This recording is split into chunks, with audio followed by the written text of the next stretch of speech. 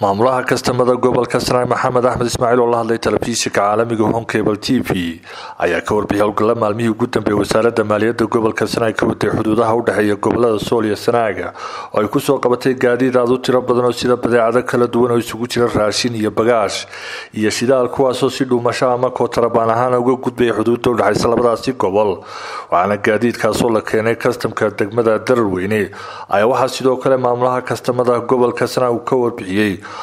qorshayaasha waxqabad ee wasaaradda maaliyadda gobolka isagoo sheegay inay wasaaradda maaliyaddu ay dadaal ugu jirto sidii ay kor u qaadi lahayd dakhliga wax soo saara ee gobolka islamarkaana la xoojinayo. Kastamada cusub ee la dhisayo deegaanada dararweyne iyo maydh iyo ceergaabo waxaan ka warbixinayaa oberethnkii kormeerkii aan u baxnay ee ku saabsanaa soojinta kontrabaanka iyo wacyigelinta dadka deegaanka. Samka dararweynaan laga furay ilaa iyo siida loo dhexaysa laascaanood ayaan ku talagalnay inaanu inta aagayga xuduudeyda aanu xidhno. Kasamka noo dhexeeya laascaanood iyo darwale xuduudoodii ayaanu ka howlgallay waxaanu ku soo guulaysanay kontrabaan badan oo halkaa marayay. Intii kasamka sida kumeelgaarka ah u xidhnaa kasamka dararweyne sida kumeelgaarka ah inta u xidhnaa ayaa kontarbaanku aada u caadaysta inay maraan halkaa dabeedna muddadii kasamka la furay bisha afar iyo tobankeedii juun ayaan howlgalkii bilownay. Waan ku soo guulaysanay baabuur badan baan ku soo guulaysanay oo shidaal baan ku soo guulaysanay oo baabuur bagaashan ku soo guulaysanay baabuur raashinaan ku soo guulaysanay. Operation wacan baanu qaadnay oo aan ku soo guulaysanay dadkii iyo magaalooyinka almar deegaanada almareyna degba magaalooyinka almareynana waan wacyi gelinaynay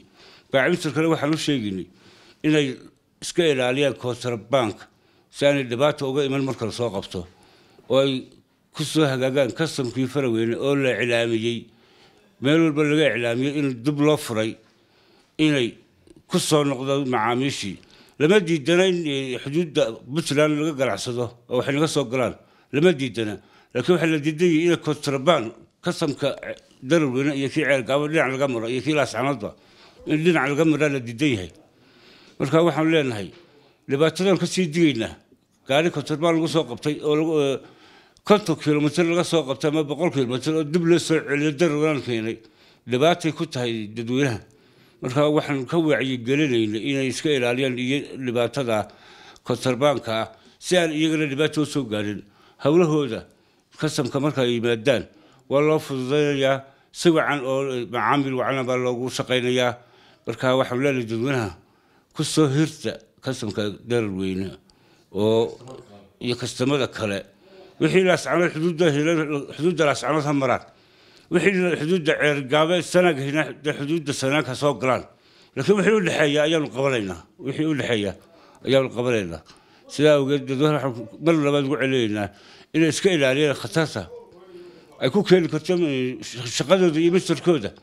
kontrabaan markay galaan waxaana maamulaha kastamada gobolka sanaag maxamed axmed ismaaciil uu sidoo kale uu ka warramay qorshayaasha waxqabad ee wasaaradda maaliyadda iyo dadaalada ay ugu jirto sidii ay kor ugu qaali lahayd dakhliga gobolka wasaaradda maaliyaddu qorshe weyn oo higsada qorshe weyn oo higsada ay ku higsanayso in kasmadooda kastamada kor loo qaado awoodooda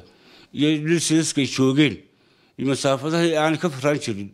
iyo horumar in loo sameeyo aagga ku habboon oo dhismayaal lagu sameeyo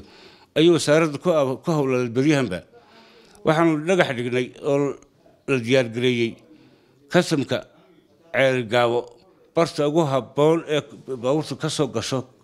baabuurta cashuurta doonaysa ee boosaaso ka timaadaa ganacsatadaas waxaa loo fududeeyey meel aanay magaalada soo magaalada soo dhex marayn oo ay basa kontaroolka ugu bariyeeya ayaa loo diyaargareeyey oo loo dhagax dhigay in dhisme cusub looga dhigo shaqaalada loo geeyo. Waxaa kaloo la diyaargareeyey xaruntii oo waxaa la diyaargareeyey xaruntii maydh xaruntii maydh maydh oo dib loo hagaajiyey oo dhisme cusub lagu bilaabay oo dib loo hagaajinayo waxaa kaloo iyana la dhagax dhigay kasamka shalcaw oo iyana dhisme cusub loo dhisiyo kumeel gaala dhisme cusub oo kumeel gaala loo dhisaayo waa lasoo dhagax dhigay isagana darar weyne isagana waa lasoo dhagax dhigay waana la furay kastamada wasaaradda maaliyaddu waxay awood saartay inay awood u yeesho kastamada oo meel walba meesha ku habboonayd ay u qorshaysay in wax looga dhiso shaqaalena la geeyo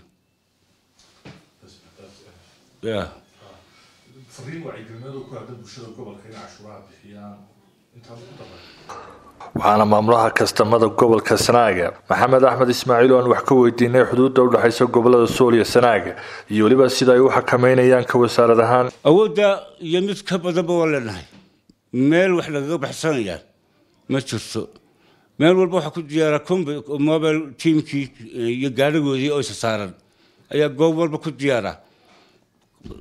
afar saacadood kii laga horreeyey nala soo sheegay ayaan ku soo qabanay bartii isagoo ilaa boqol kilomitr socday. Meelaa lagaga baxsamay markaasaan ku soo celinay bartii kasamkaa waa dhibaatooyinkan ka digayno. Qofkii oo dhacmay oo isli waad baxsato meel baad tagtay. In meel lagaga soo baxo si loo daba socdo. Oo dabeedna boqol kilomitr dib loo soo celiyo. Waxyaabahaas oo ayaan ka digaynaa. Waxa weeye noloshii bulshada. Waa horumarkii bulshada. Waxa weeye waxqabadkii bulshada dee